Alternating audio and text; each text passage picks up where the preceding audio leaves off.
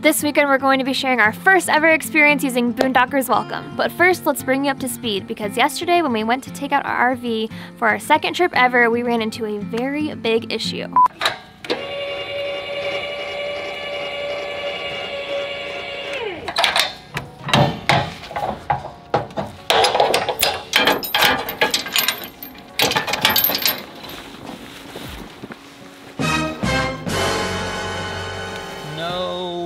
So I've run into a bit of a problem, and by a bit of a problem, I mean a pretty big problem. I'm here by myself trying to get the trailer hitched up, and I was just pulling off the tire cover, and I found that that tire is totally flat. I have obviously never changed the tire on a travel trailer. Thankfully, one of the first things I ever bought for this thing was the equipment needed to change the tire, but I had never really gotten a chance to practice. So, so I guess now is as good a time as any to get some practice in. I'm supposed to be meeting Cris in about 15 minutes and she's about 45 minutes up the highway. I have to let her know that the tire is flat and I, I don't know what, yeah, I don't know what to do.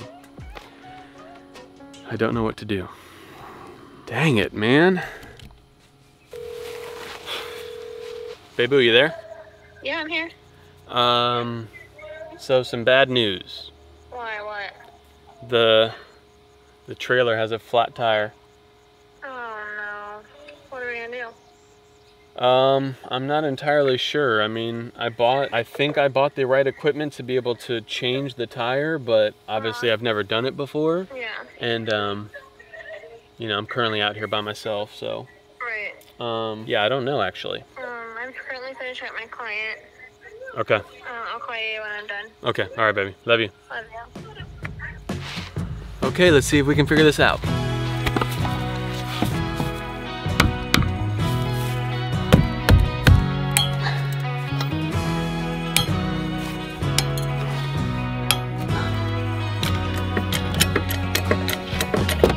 I gotta say, never having done this before, this is incredibly nerve wracking.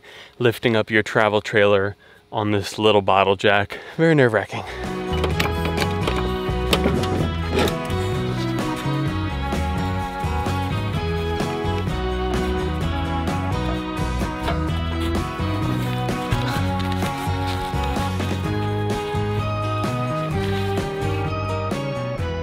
After more failed attempts than I even want to mention, I moved the jack to the front tire to just basically put a Hail Mary up in the air and see what happens. And finally, we got the trailer up high enough for the tire to spin. And now I have to see if the back axle is high enough off the ground to be able to fit the spare. If not, I have a shovel.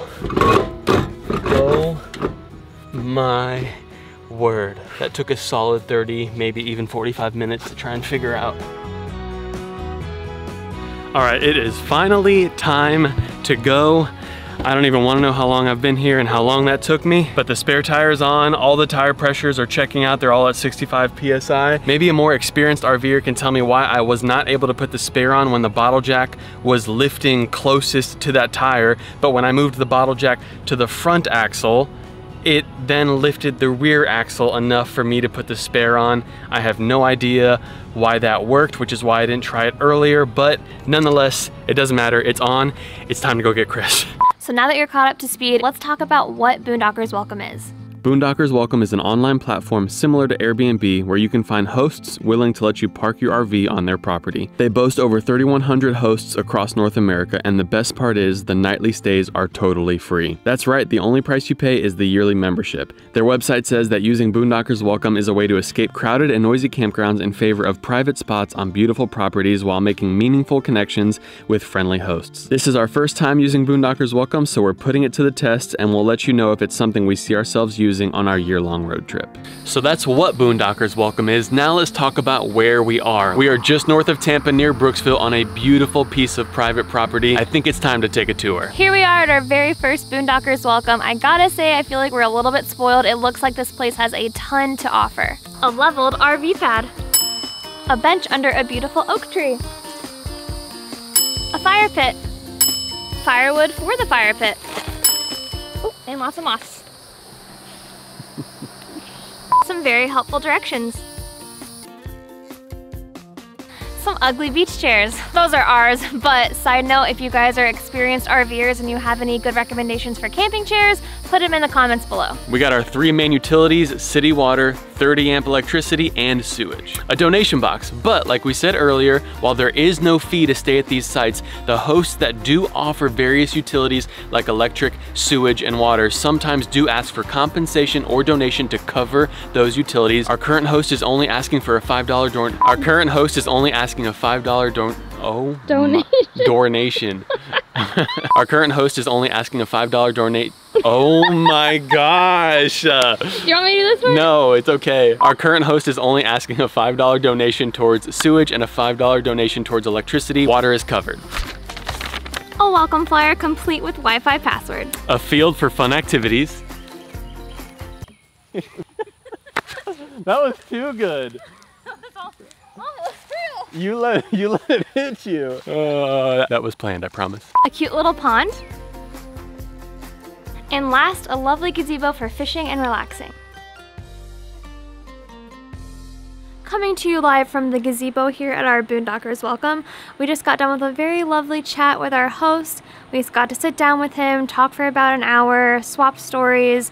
He had a lot of great advice for us. He's been an RVer for much longer than we have, and now we're just doing some fishing, enjoying the evening. Yeah. George caught one fish so far. He's hoping for one more, and then we're gonna head inside for dinner. So when I was doing some research on Boondockers Welcome and kind of what it was, compared it with RV parks, Harvest Hosts, stuff like that, one thing that I did find that makes Boondockers Welcome unique is the social aspect. I even saw a couple blogs refer to it like a social media site for RVers because like Cris said, you're staying on people's private property. You get the opportunity to have more on one-on-one conversations with people. So I think that's one of many things that we are going to enjoy about Boondockers Welcome is the social aspect. Hopefully we're gonna make some friends out on the road. Especially if you think about it, like I love George, but it's just gonna be me and him for a lot of the time. Come over here, oh, come over oh, here. oh.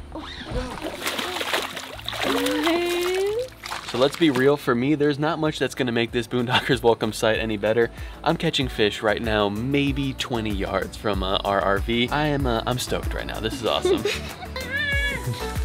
Oh my goodness. you, why do you look scared of it? I don't want to flap around on me. All right, put your thumb Uh, in his uh, mouth. Uh-uh. I'm not doing that. Babe, put your thumb. No, I don't wanna. That's where I draw the line. what? I don't touch inside a fish's mouth. All right, hold the line.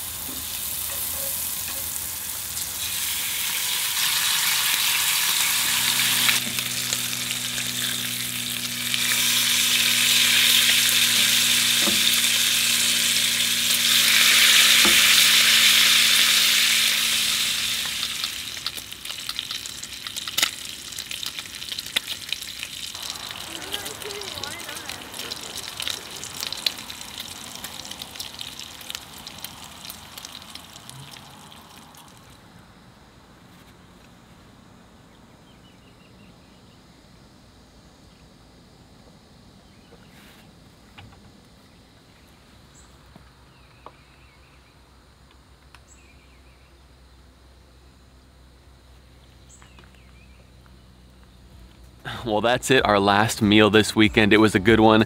We didn't get to show you the finished product because we were so hungry we ended up just eating it before we got a shot of it. It is sad to leave this place, but I will say that for Cris and I, this weekend has showed us that Boondockers Welcome is two thumbs up, 10 out of 10. Absolutely going to be trying again on the road this upcoming year. Thank you all so much for following along with us this weekend. And if you haven't done so already, please be sure to subscribe to our channel because this year we have some huge plans and we would love for you to be a part of our journey. We'll see you guys next time. Later.